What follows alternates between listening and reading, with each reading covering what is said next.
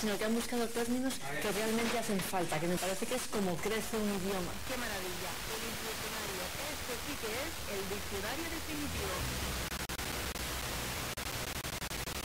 Activo Net, un espacio del grupo